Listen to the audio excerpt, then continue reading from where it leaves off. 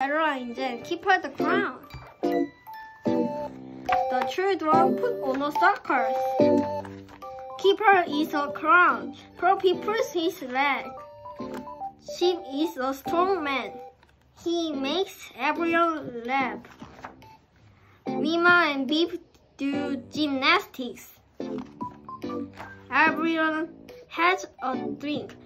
What a good soccer says Mom. Beep is a stuntman. Kipper is angry. He wants to be a stuntman. Look at me, says Kipper. Everyone looks at Kipper. Oh no! I'm a crown after all, says Kipper. Bye bye.